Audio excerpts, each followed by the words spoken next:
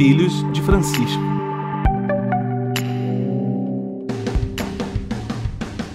Bom dia, boa tarde, boa noite. Chegando até você, os Filhos de Francisco, podcast e programa de quem tem Deus por Pai e Francisco por Paisão. O nosso objetivo é ver os dias de hoje pelos olhos da fé católica, neste tempo auspicioso da reflexão teológica de Francisco de Buenos Aires. Estamos aqui porque duvidamos do que vemos para crer no que não vemos.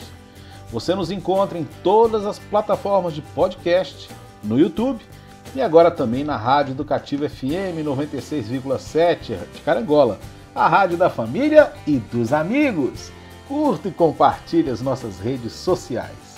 No YouTube, como eu disse, Filhos de Francisco Podcast. No Instagram e no Facebook, Filhos de Frank. No twitter.com, Fit Francisco Podcast. Ou mande um e-mail para nós, podcastfilhosdefrancisco.gmail.com Eu, Luiz Alberto Bassoli, sou licenciado em Filosofia pela PUC Minas e educador há 30 anos.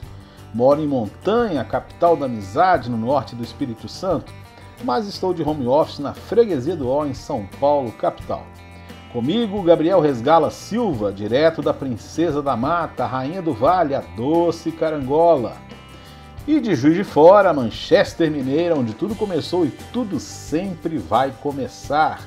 O professor Jorge Roberto Silva Júnior, Juninho, que é formado em filosofia, com especialização em educação religiosa e ciências da religião pela Universidade Federal de Juiz de Fora, professor da Rede Pública de Minas Gerais e do Rio de Janeiro. Na produção conosco, direto do Meier, o orgulho do subúrbio e dos suburbanos, Luiz Felipe Barbedo, professor e psicólogo pela Universidade Federal do Rio de Janeiro. E como nós sempre começamos, vamos aos destaques da semana. Eu começo com você, Gabriel. Bom dia, boa tarde, boa noite. Qual é o seu destaque da semana? Bom dia, boa tarde, boa noite. Quem está ouvindo a gente pelo podcast, pela Rádio Educativa de Carangola. E meu destaque da semana é um destaque bem inusitado, que é o seguinte, que é a manchete da Folha de São Paulo de hoje, né, do dia que a gente está fazendo essa gravação, que é o seguinte: o Bolsonaro fez um discurso na ONU né, e foi um discurso muito criticado, logicamente, por quem não apoia o Bolsonaro. Né? É, então, assim, para quem, tirando as pessoas que já apoiam o presidente, todo mundo criticou bastante o discurso, uma série de coisas bastante questionáveis, né? O Bolsonaro, entre outras coisas, falou que tinha pagado cerca de mil dólares em, em, em auxílio emergencial para as pessoas, quando na verdade, se você for somar as seis parcela, parcelas de 600 reais com as, de, as quatro de 300 reais que ainda vão ser pagas, elas dão um total de 4.200 reais, que na cotação atual é, não dariam mil dólares. Mil dólares hoje seriam cerca de 5.400 reais, ou seja, 1.200 reais a mais do que o presidente falou né? É, mas enfim, esse foi um dos pontos bastante questionáveis, entre vários outros pontos que foram é, bem criticados, não só por quem não apoia o Bolsonaro, como por chefes de Estado do mundo inteiro. Né? A repercussão internacional foi muito negativa. Muita gente fala que foi um, um discurso feito só para quem já apoia o, o, presidente mesmo, que não teve intenção nenhuma de convencer as pessoas de fora, de outros lugares do, do mundo, né? Mas a, a manchete justamente da Folha de São Paulo de hoje foi assim: Bolsonaro se defende na ONU sobre pandemia e queimadas. Né? Outros pontos bem polêmicos do que ele falou também, aliás, bem questionáveis do que ele falou, né? E, e, fala assim: ao abrir a Assembleia Geral virtual, o presidente reafirma que é vítima de campanha de desinformação.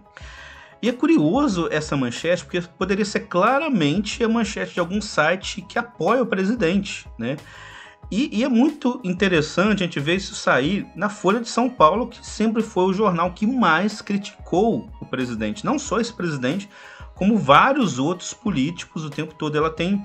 A, a Folha quase que se gaba de ser um dos jornais, um dos veículos de imprensa mais combativos, que sempre cutuca todo mundo, que sempre enche o saco de todo mundo. E agora a gente está vivendo um momento em que parece que a imprensa está dando é, tá dando um descanso, assim, em termos de, de, de, de críticas ao governo. A gente não sabe muito bem por que está tendo esse descanso, que a imprensa está pegando mais leve com o governo, por assim dizer. Né? A gente pode lançar talvez teorias da conspiração ou mesmo tentar entender esse, essa jogada política toda, mas eu acho que é um bom sinal para quem acredita que é muito simples separar as coisas, né, como se fosse tudo preto e branco, um lado certo, outro errado, que de um lado está o governo e de outro a imprensa sempre criticando. Não é bem assim. A gente sabe que as coisas são muito mais complexas. A própria Globo, na verdade, é, ela sempre teve vários lados, às vezes está de um lado, às vezes está do outro. Então eu acho que serve pelo menos de reflexão para a gente tentar olhar as coisas com um pouco mais de complexidade e não cair nas narrativas fáceis, entender que as coisas são, são bem mais complicadas do que parece. Gabriel, o seu, sua cotação do dólar está desatualizada. O dólar subiu hoje 2,18%. Na verdade, Nossa. mil dólares seria 5.588 reais. Então o Bolsonaro está devendo mais 188 reais para toda a população, mais os 1.400 que você citou. É, Queria... já, que, só, já que ele não pagou ainda todas as parcelas, é. né? Vai ter é, que é... atualizar com dólar. E é importante, Gabriel, vou fazer um comentário sobre o que você disse, é que, é, por exemplo, o Washington Post, que é um jornal é, sem alinhamento político necessário, um viés mais conservador do que o New York Times, pelo menos, né? Eles fizeram um levantamento que em 1.200 dias como presidente dos Estados Unidos, o Trump cometeu 20 mil declarações falsas ou enganosas. Então, não é proibido a imprensa dizer que o presidente mentiu quando ele mente, ou pelo menos que ele se enganou terrivelmente, se não quiser fazer juízo de valor em algum momento, né? Embora a gente sabe que se fosse algum presidente que não fosse do agrado deles, eles no mínimo iam chamar de mentiroso e outras coisas mais, como fizeram nos anos anteriores aí. E eu tenho medo de, como o Daniel Dourado disse hoje no Twitter, tenho medo de um dia abrir os jornais brasileiros e encontrar a manchete como em decisão polêmica, Bolsonaro manda fechar o Congresso e prender opositores. Há uma diferença grande entre polêmica e mentira, né? Juninho, seu destaque da semana, bom dia, boa tarde, boa noite. Bom dia, boa tarde, boa noite a todos que nos ouvem pelo, pelos canais, podcast e pela rádio também. Então, na verdade, é, o destaque da semana é o destaque repetido, né? Que vieram, já aconteceram algumas vezes, a possível volta, né? Possível retorno às atividades presenciais nas escolas estaduais, tanto de Minas quanto do estado do Rio de Janeiro. O estado do Rio e o estado de Minas, é, o estado do Rio, sexta-feira passada, e o estado de Minas hoje, no dia 23 de setembro, soltou a determinação, lançou, né, emitiu o comunicado do retorno às atividades presenciais nas escolas do estado de Minas a partir do dia 5 de outubro, assim como o estado do Rio de Janeiro.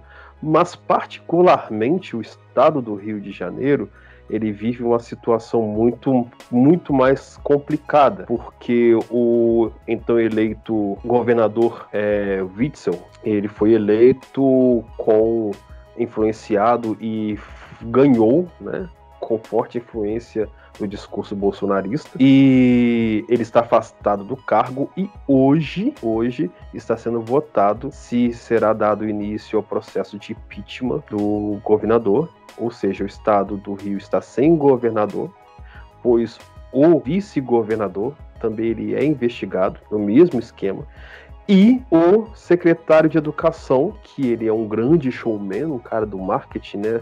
Ele concorreu ao governo do estado, perdeu, foi convidado a ser secretário de Educação pelo Witzel. Ele é um showman, tá sempre campanha, sempre campanha, e durante a pandemia ele ia às escolas, né, com as escolas fechadas, fazia com que diretores abrissem as escolas para ele mostrar o que ele fez, compra de ar-condicionado, compra disso, compra aquilo, milhões e milhões de milhões, e só que um tempo atrás, há três semanas atrás, veio o comunicado que ele estava com Covid. Começou a sentir sintomas em casa, fez o, fez o teste, testou positivo.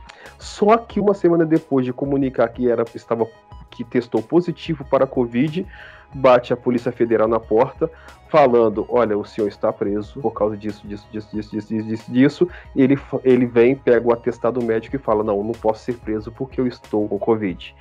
E um estado sem governador, um estado sem secretário de educação, emite uma nota no caso o estado do Rio de Janeiro, um comunicado a todos os servidores que as atividades presenciais vão começar no dia 5 de outubro. O estado do Rio de Janeiro, como nós vamos ver nesse, nesse, nesse episódio, ele está com um processo de crescente no número de infectados internos e mortes.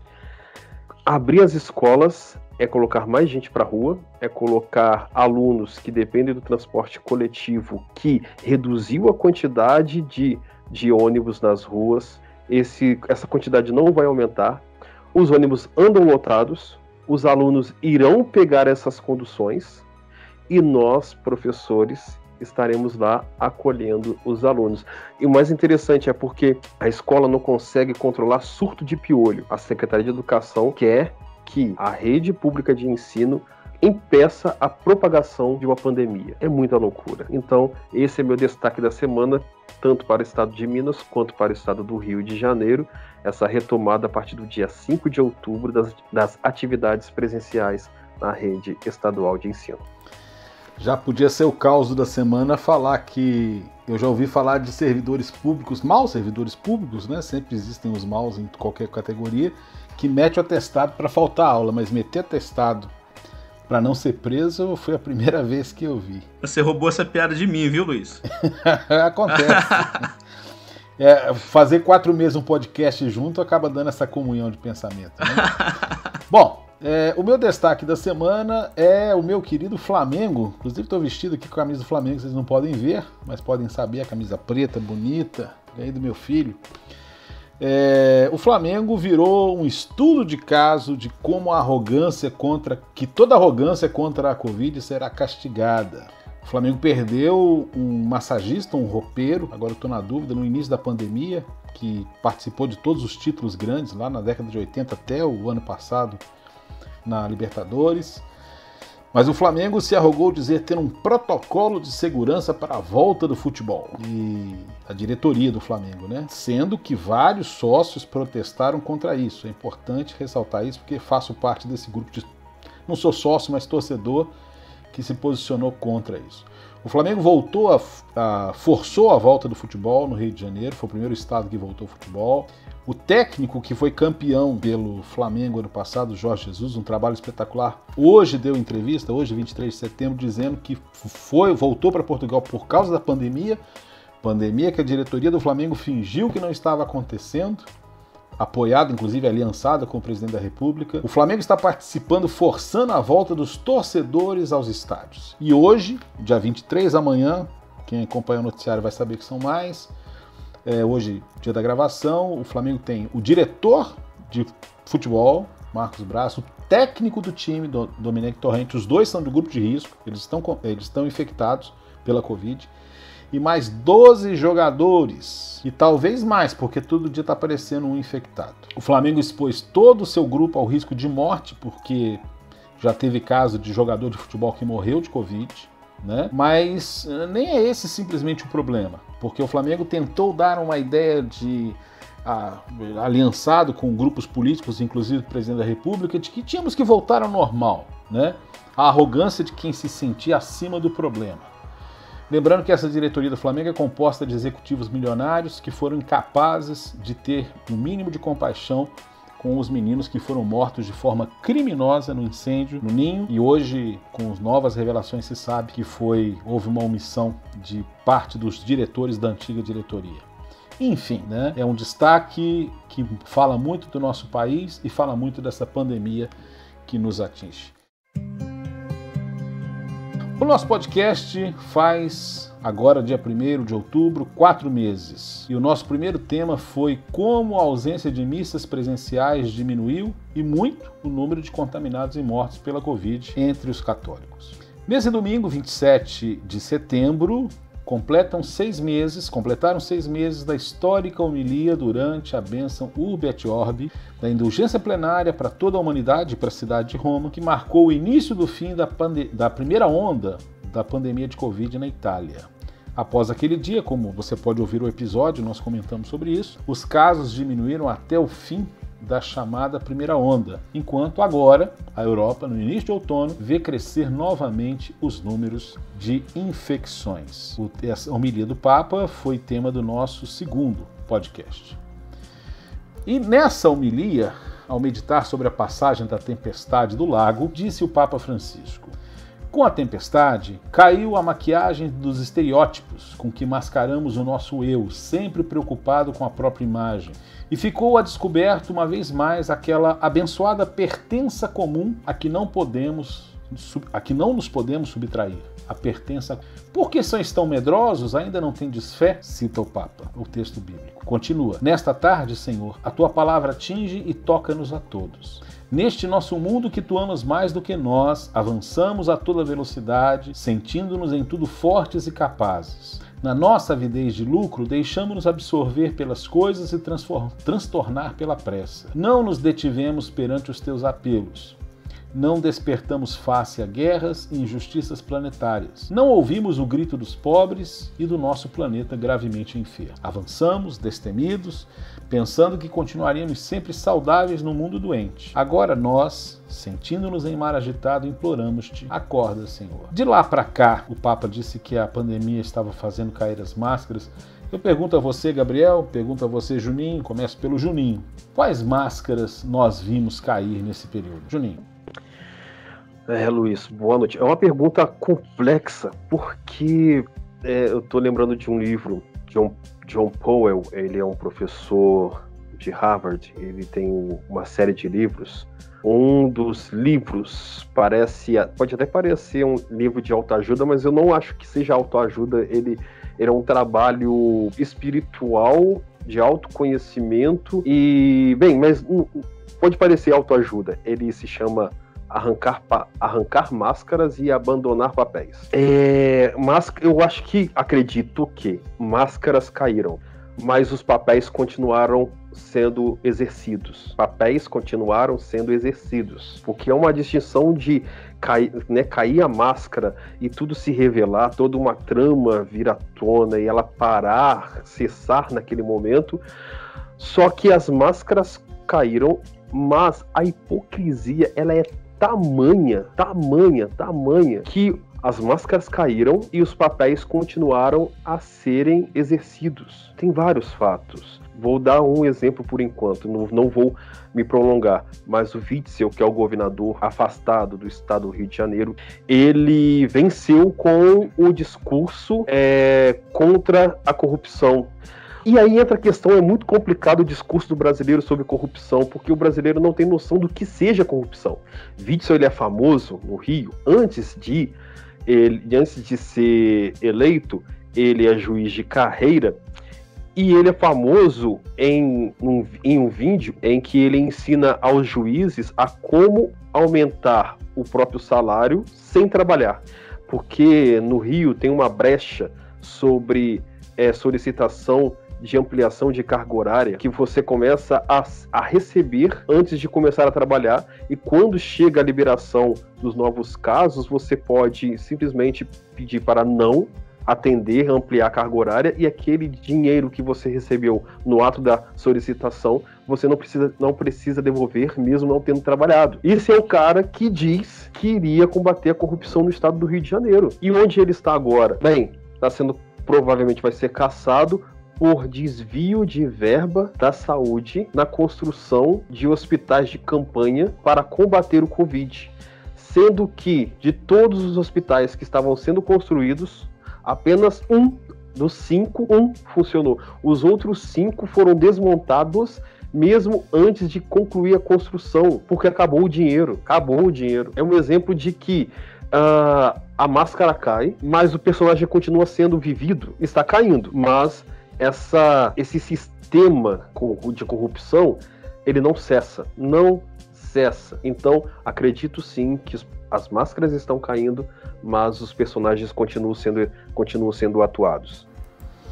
Gabriel, antes de passar a palavra a você, eu queria dizer que aumentou o número de vítimas da Covid no Flamengo, já são 16. Eu acho que até o final do programa, do episódio, a gente vai ter mais gente contaminada.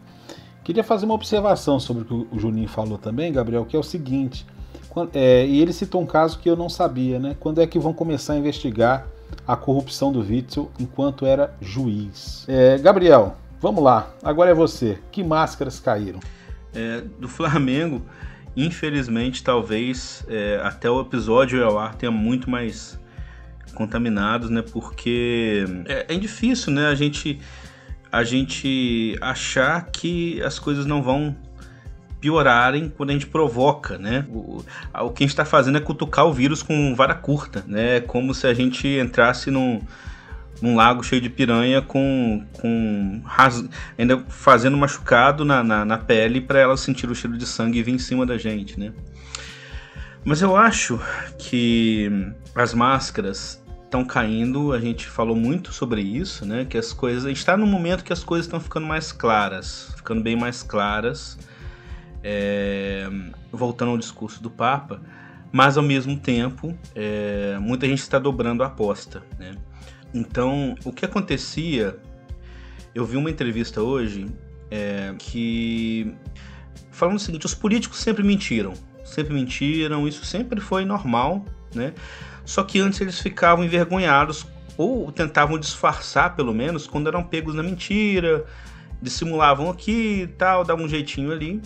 Hoje em dia, não. Hoje em dia, eles dobram a aposta. Eles vão até o fim na mentira e mentem de uma forma que engana muito quem não sabe a verdade. Então, se para quem sabe a verdade, quem sabe que aquilo é uma mentira, está ficando mais fácil a gente entender o que está acontecendo e vendo realmente que aquilo ali era uma máscara, né? Tá muito mais óbvio o que está acontecendo para quem não tem acesso ou para quem já, já se envolveu com aquilo, aquele discurso daquela pessoa, ela tá tão envolvida naquilo que ela vai até o fim junto com aquela pessoa.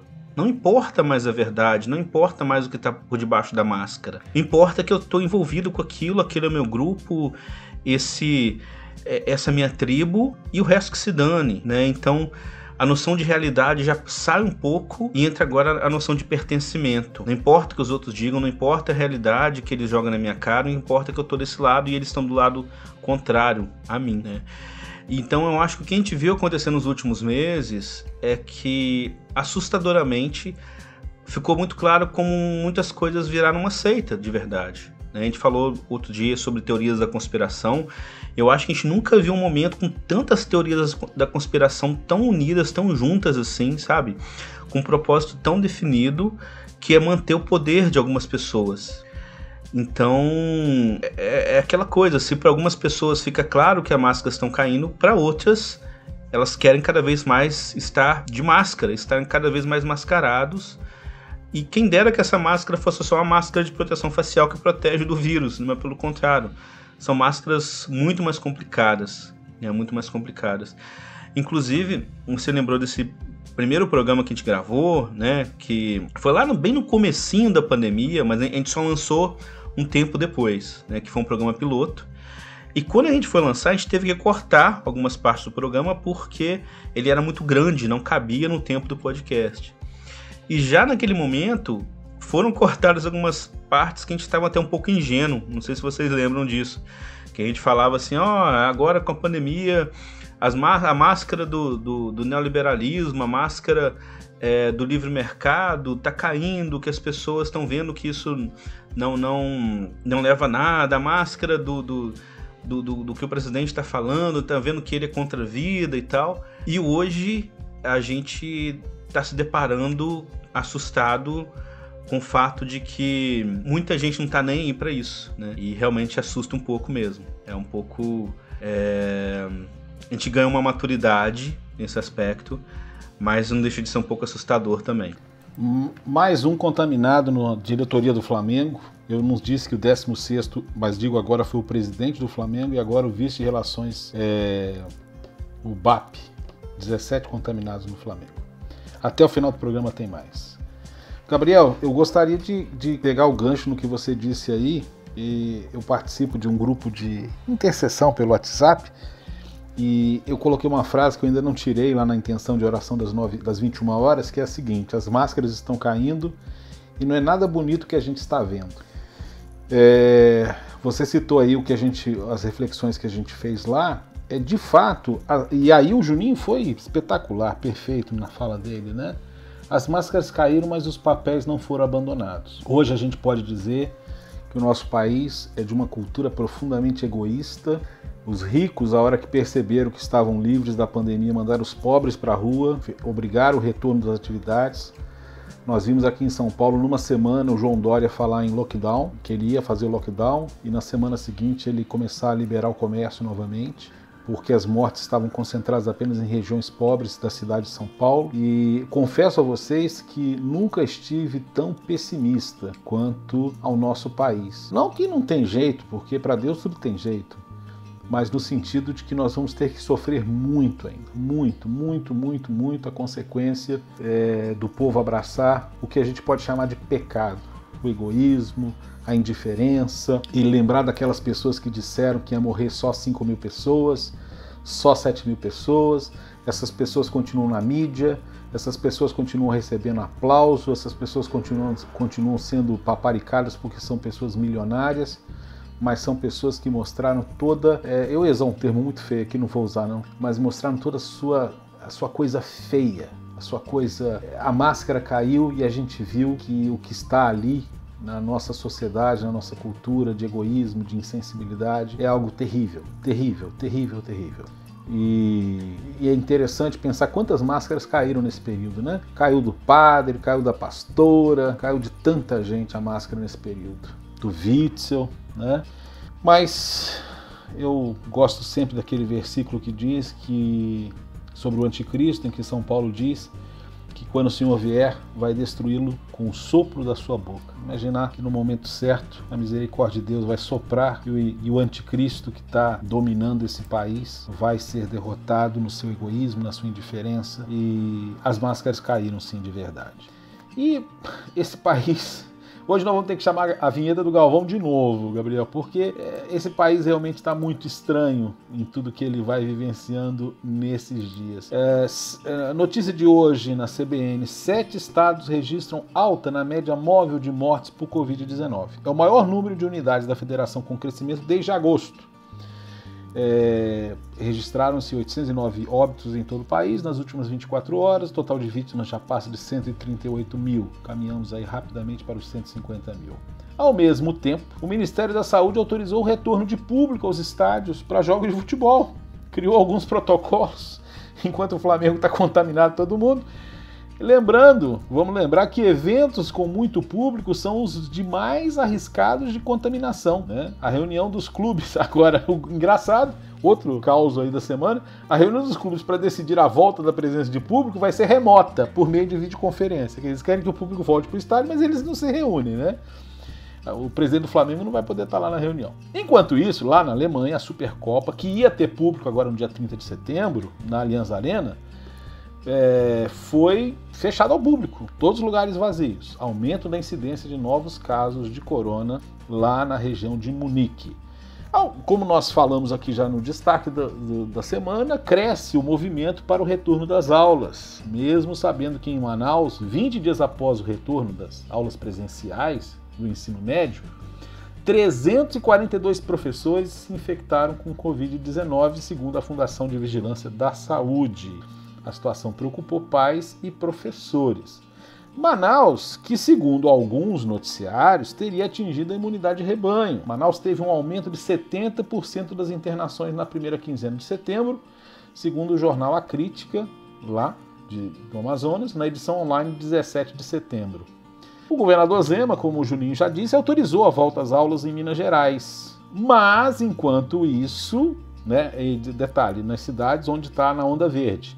O prefeito de Belo Horizonte, no dia de hoje, 23 de setembro, caçou, vamos dizer assim, né, todos os alvarás das escolas de Belo Horizonte. Né? O município vai recolher todos os alvarás de funcionamento, proibindo, por tempo indeterminado, a volta das aulas presenciais. Ninguém sabe o que faz, ninguém sabe para onde vai, ninguém sabe onde pula, ninguém sabe para onde olha. E eu pergunto para você agora, Gabriel, vou começar por você. A pandemia acabou mesmo? Como está parecendo, com as praias cheias, como estavam duas semanas atrás e agora os hospitais estão se enchendo de novo. A pandemia acabou mesmo, Gabriel? Pois é. é, é... Eu vi um, uma entrevista do Atila outro, outro dia. O, o Atila, vamos combinar que, que às vezes ele é um pouquinho pessimista, assim. Eu já me, me conscientizei disso, assim, né? Ele falou uma coisa que é verdade. Agora é que nós estamos num dos períodos mais complicados da pandemia. Se a gente for comparar com março, né? Março, é, todo mundo estava muito assustado com a pandemia, todo mundo fechando tudo, parando tudo querendo se resguardar ao máximo e nós tínhamos pouquíssimas mortes. Agora nós ainda estamos nós começamos a, vislumbrar alguma possibilidade de recuperação e nós já estamos querendo abrir tudo de repente, né? E, e não, não é assim que funciona. A gente vai ter muito chão pela frente até a gente conseguir ter alguma é, algum equilíbrio, a vida voltar mais ou menos ao normal, né? Então vai ser muito, muito, muito difícil, muito trabalhoso. Só que é claro, a gente cansa, né? E cansaço não é só. Não é brincadeira, né, gente? Seis meses de quarentena, eu acho que até mais, não sei. É, é bem complicado, né? E, e tem a nossa saúde mental, é muita coisa envolvida. Mas é como a gente fala por aqui, a gente não pode cair no 8 ou 80, né? Não, não...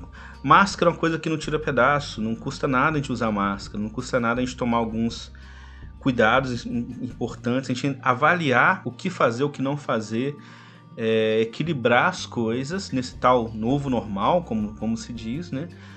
É, para a gente não, não ficar tão isolado assim, não ficar, não sofrer tanto com tudo e a economia sofre muito também, sem a gente cair num risco grande de voltar ou, ou mesmo de continuar do jeito que está aqui, do jeito que está já está terrível. Não precisa nem de voltar a ter mil mortes por dia para ficar terrível. Né? Já estamos num nível desesperador. Né? Hoje, do jeito que está, já é desesperador no nosso país. Não precisa voltar a ser pior do que está agora. Né? É... E aí, uma análise racional dos fatos seria a gente analisar o que, que pode, o que, que não pode voltar, qual que é o risco maior das coisas de voltarem. Né? É, então muita gente fala assim, é, poxa, por que, que pode. É, por que, que pode voltar bar? Por que, que pode voltar shopping? Por que, que pode voltar praia? Por que, por que, que não pode voltar escola? Na verdade, não era para estar tá voltando shopping, não era para estar tá voltando bar, não era para estar tá voltando cinema, não era para estar voltando praia. Não são coisas essenciais. E são algumas das coisas. Estádio, né? O, o Luiz acabou de lembrar. Estádio era para ser a última coisa a voltar a ter público em estádio, porque não é essencial e o nível de contágio é muito grande, né? Então, mas infelizmente a gente vê pressão muito grande de alguns setores, né? A gente tá meio nessa discussão né, de volta às aulas e com certeza escola é uma coisa muito complicada, né? E, e, e uma das piores coisas de estar fechada por uma série de fatores, né? É, mas aí, se a gente quer que a escola volte, se a gente quisesse realmente que a escola voltasse, se, se fosse realmente a nossa prioridade, a gente não poderia ter aberto mais nada. Se a gente não tivesse aberto shopping, não tivesse aberto estádio, não tivesse aberto bar, a gente poderia ter voltado com a escola antes, talvez, com talvez muito mais cuidados, né? Porque a gente estaria vendo a pandemia estar mais controlada. Mas realmente a gente não está fazendo uma análise racional da situação, né? E, e aí quando a, a gente esquece, né? Muitos, muitos órgãos de imprensa repercutiram um trecho de um documento da OMS falando que as escolas seriam prioridade para a volta, mas esqueceram de falar de todo o restante do documento, falando de toda todo o controle que deveria ser feito para a gente poder ter esse retorno. Inclusive rastreamento de casos, que o Brasil faz muito mal. A gente não, não tem metade dos testes que precisava. Né? A gente tem muito pouca testagem, muito, muito, muito pouco controle de quem está infectado para conseguir voltar às aulas. E detalhe, é, a gente tem turma, o Juninho estava me falando que dá aula para 60 alunos, algumas turmas. Quando que a gente vai conseguir controlar isso? Enfim, a gente mal tem ministro da saúde, né? agora está tendo o ministro da Saúde, mas a gente não tem planejamento algum de nada. Então é muito triste a gente ter que lidar com essa situação, né? De a, a, mente já está cansada da pandemia, de achar que a pandemia está acabando, quando ela ainda está no seu auge, né? É muito, muito triste, né? Mas ao mesmo tempo faz a gente refletir um pouco e buscar, se a gente não tem essa resposta das autoridades, que a gente, enquanto sociedade, possa refletir com mais calma e pensar em soluções por, por nós mesmos, né? no que é possível a gente fazer nesse ponto. Antes de passar a palavra ao Juninho, eu queria dizer, não, não tem mais alguém do Flamengo, ainda não foi divulgado isso não. Mas queria fazer umas observações do que o Gabriel falou. É, hoje estão caindo no Brasil dois aviões cheios por dia, de média, de mortos. É, dois aviões comerciais, evidentemente. O número de mortos corresponde a uma queda de dois aviões, para quem não tenha entendido. Antes eram três aviões, agora são dois. Mas ainda são dois aviões por dia. Lembra quando há um desastre de avião, o que acontece, a repercussão, e mostra os aeroportos, as famílias chorando, e passa o nome das pessoas. Lembram disso? Está acontecendo dois aviões caindo por dia no Brasil hoje. Eram três, agora são dois. Tem motivo para comemorar? Não tem. É... Segundo, eu queria. Algumas pessoas podem ouvir, Gabriel, e podem achar que é insensibilidade nossa quanto aos profissionais que trabalham em shopping e bar. Eu queria lembrar que várias atividades encontraram alternativas nesse período, mesmo no shopping. Teve shopping até que abriu para carro entrar, né? Mas é, os shoppings continuaram vendendo por delivery, por exemplo, pegando no, por exemplo, no estacionamento, quem quisesse comprar né? Essa era uma forma. E, e bares lotados, igual eu vejo aqui em São Paulo, é, não faz o mínimo sentido. Não faz o mínimo sentido. Ah, mas as pessoas que trabalham nesse setor deveriam ser amparados pelo Estado. É para isso que existe o governo. O governo serve para atender as pessoas em momentos de necessidade. Deveria ser assim. E não aos bilionários que se tornaram mais bilionários durante a pandemia. Essa inversão do papel do Estado no Brasil que a pandemia desmascarou, a máscara caiu, o papel continua sendo exercido. Uma última observação, agora, durante também a gravação do episódio, o Alexandre Moraes acabou de suspender que o programa Minas Consciente seja seguido obrigatoriamente por todas as cidades, como a Justiça Estadual havia definido. Juninho, e aí, a pandemia acabou mesmo, Juninho? Gente, vocês falaram tanta coisa que eu gostaria de comentar. De trás para frente, Jair Messias ele alega que se ou foi, foi tolhido de agir durante a pandemia porque o Supremo determinou que as ações deveriam ser tomadas pelos estados e municípios. E o Supremo decidiu isso porque já havíamos um processo né, de, de, de infecção na Ásia, depois na Europa e depois chegou ao Brasil e o governo não tomou nenhuma iniciativa nem na área da saúde e nem na educação também. E aí o Supremo fala: quem tem que tomar, tomar alguma atitude vai ser estados e municípios, porque a União não tomou nenhuma iniciativa. E ele joga isso como se fosse o quê?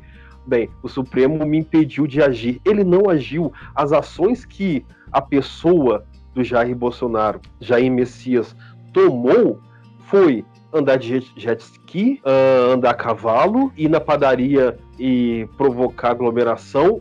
Essas foram, foram as iniciativas que a pessoa do chefe do executivo tomou durante todo esse tempo. E para se safar, fala que foi tolhido pelo pelo Supremo. É insano. A pandemia não acabou. Havia outras coisas. O Gabriel disse também, o Luiz, você comentou também, mas bem, não vai dar tempo. Mas o que eu quero dizer é que não acabou. Não, não, não acabou. E você, Luiz, disse, lembrei agora, que por dia caem dois aviões comerciais por dia no Brasil, provocando mortes. E voltou a subir. Eram três. Antes era o Titanic, depois passou a ser três. Hoje são dois e voltou a subir. Você deu o exemplo da, da, da Alemanha, a Inglaterra. Hoje, o primeiro-ministro já falou que vamos voltar a tomar ações, ter ações, aliás, para impedir que a contaminação e o número de mortes cresçam ainda mais, porque já voltou a, voltou a crescer o número de infectados e mortes na Inglaterra. Então, bares vão ser os famosos, famosos pubs? Famosos pubs é, na, na, Inglaterra em Londres vão ser fechados. Então, e nós achamos, achando que tá tudo bem, só porque, infelizmente, como já cantou o, os Titãs, né? Não há nada que você não se acostume. Que triste que nós estamos nos acostumando a isso. Que triste, porque vidas estão sendo perdidas e vidas próximas. O irmão de um amigo meu tinha 30 e poucos anos, não lembro quantos anos ele tinha, faleceu semana passada. Depois de ter ficado 15 dias na, na UTI, não resistiu, faleceu. Covid. 30 e poucos anos, deve ter no máximo uns 38 anos. Professor, professor, que professor da rede particular, que teve o vínculo cortado, começou a fazer alguns empregos fora, nesse, né, trabalhar. E aí, fora da área, porque as escolas estavam fechadas. E aí vem o Jair Messias, diz lá na ONU também que, uh, que houve um discurso no Brasil que devemos, deveríamos cuidar da, da, das vidas e esquecer a economia. Mas ele se preocupou com os, com os dois. Não, ele não salvou a economia e nem cuidou das vidas. Então é revoltante para quem pensa, tem um, tem um mínimo de noção ao ver, ler ou ouvir o discurso do Jair Messias na ONU, fala, gente, como esse homem, que mundo que esse homem vive? Bem, as máscaras caem, problemas, polêmicas, crimes cometidos por ele, pelos filhos dele, pela mulher, pela mulher dele, pelo nem vou falar do Queiroz, mas as máscaras caem, mas os personagens continuam sendo exercidos. E há quem ampare, há quem concorde, há quem defenda. É, é loucura. E é tão. E, e nessas circunstâncias que nós estamos vivendo, eu fico ainda mais abismado é que em até então, as projeções indicam que em um primeiro turno, todos os cenários Jair Messias ficariam em primeiro lugar. Não estou falando que a pandemia ela é culpa do Jair Messias, mas o chefe do executivo deveria ter tomado iniciativas e ações que não tomou e isso cai na conta dele. Ou pelo menos se, se nós morássemos em um país sério, deveria cair. Nós achamos mais grave um triplex, um sítio, do que a omissão no governo. Não estou defendendo Lula, pelo amor de Deus, não estou defendendo ninguém. Mas é, é, como eu disse no início do meu comentário, lá na primeira pergunta, nossa visão de corrupção é muito deturpada. E até assim até se aceitar a corrupção, desde que, não vou nem continuar, mas esse é o pensamento. Até a corrupção ela se torna um instrumento e é legitimado pela sociedade brasileira desde que agrade os interesses, atenda a interesses, ele fale o que eu quero falar, que ele haja de forma tosca e boçal porque eu não posso, porque senão vou ser processado. Então, esse governo e essas ações refletem a mentalidade de um grupo de brasileiros e este se torna, este governo se torna a voz deste grupo de pessoas. Então, eu já disse várias vezes, várias vezes, várias vezes, é o pior governo para o pior momento. Então, não tem como refletir sobre o fim ou vislumbrar um futuro pós-pandemia dentro desse contexto de governo. Dentro desse governo não tem como vislumbrar, eu não consigo vislumbrar uma realidade de superação, de busca de realização, de crescimento real com esse desgoverno. Não consigo, não consigo mesmo.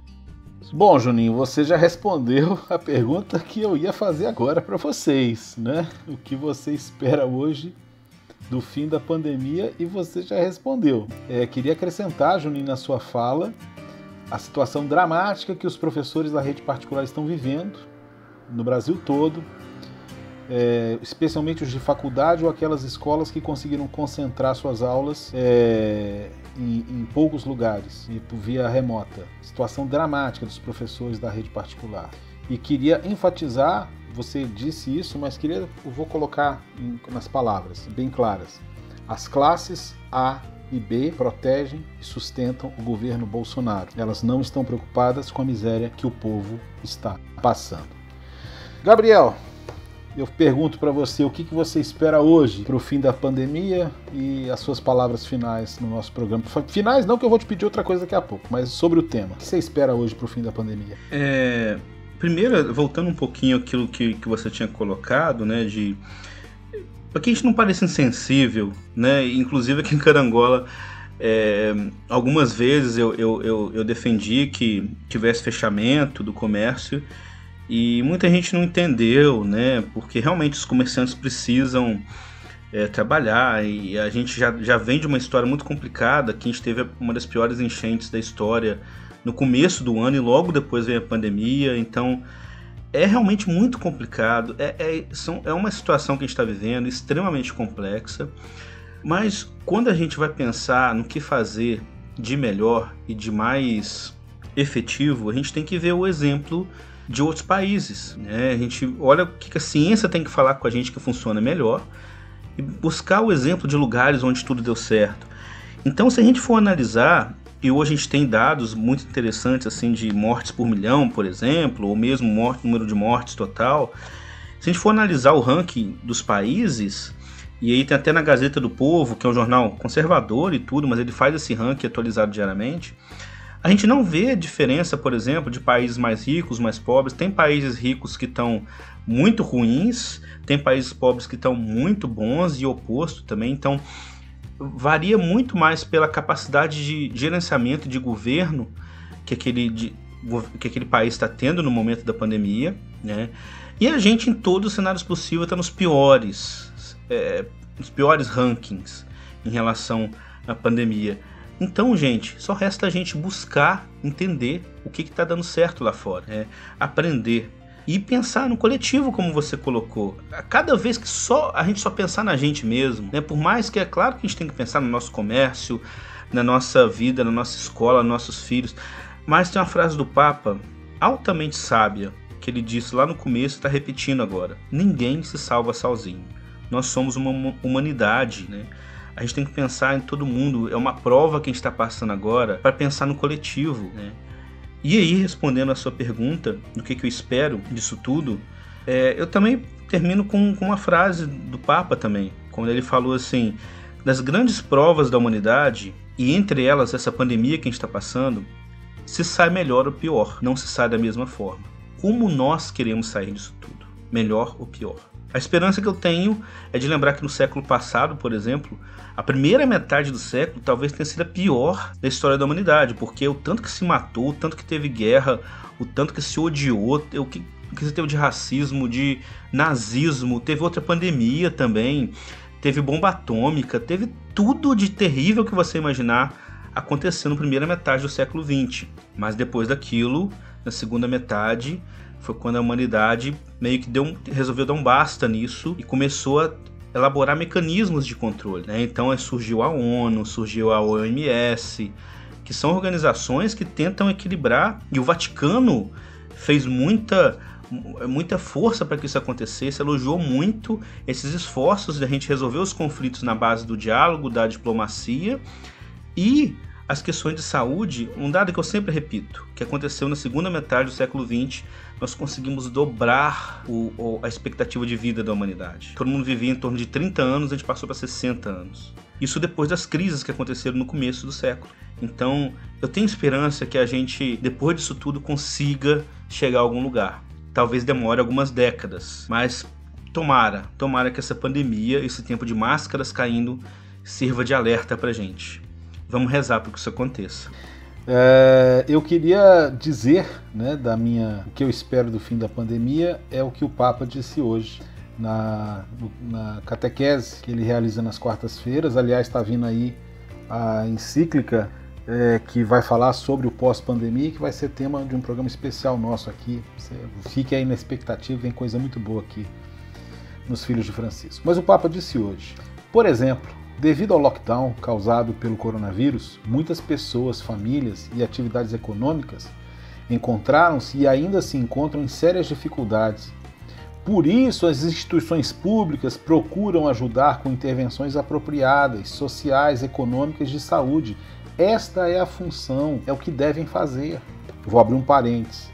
Não é deixar o povo morrendo dentro do ônibus, não. É cuidar das pessoas que estão precisando. Fecha o parênteses. E este é o exercício do princípio da subsidiariedade. Opa, engasguei. Cada um deve ter a oportunidade de assumir a própria responsabilidade nos processos de cura da sociedade da qual faz parte. Continua o Papa. quando se ativa algum projeto que direto ou indiretamente diz respeito a determinados grupos sociais, estes não podem ser excluídos da participação. A sabedoria dos grupos mais humildes não pode ser colocada de lado. E o Papa cita literalmente as vozes dos povos indígenas, as suas culturas e visões do mundo não são consideradas. Atualmente, esta falta de respeito pelo, por este princípio propagou-se como um vírus. E o Papa está criticando atividades de mineração em determinadas partes do planeta. E eu vou dizer para vocês, se você não entendeu, ele está falando da Amazônia. Nós precisamos sim sair melhores, mas não vai ser saindo com os braços cruzados. Vamos um, vamos aliviar um pouco aqui para o final do nosso programa do nosso episódio, desse podcast. Já estamos aí estourando o tempo. Eu vou contar o caos da semana. Sobe a vinheta, Gabriel. Essa aconteceu na paróquia de Nossa Senhora de Fátima, em Teófilo Otoni, Minas Gerais.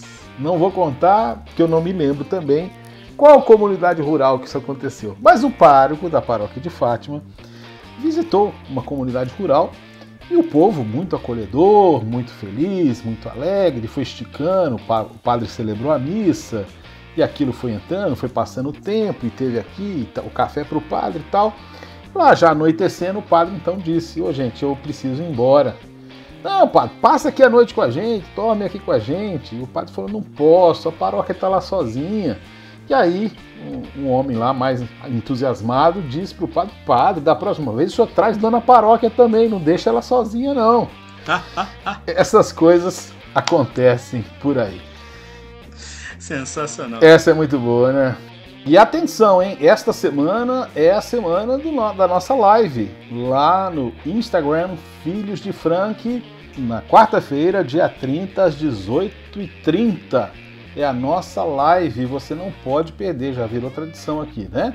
Então estamos esperando você na nossa live. Então a gente se encontra é, na live, quarta-feira, dia 30. Você nos encontra em todas as plataformas de podcast, no YouTube, também na Rádio Educativa FM de Carangola 96,7, a rádio da família e dos amigos.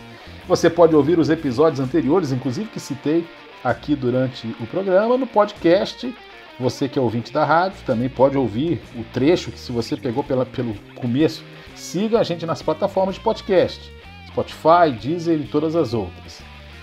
Jesus fez ainda muitas outras coisas, e parafraseando São João, nós dizemos: se fossem ditas uma por uma, penso que nem o mundo inteiro poderia conter os podcasts que se deveriam ser gravados. Até a semana que vem, um abraço.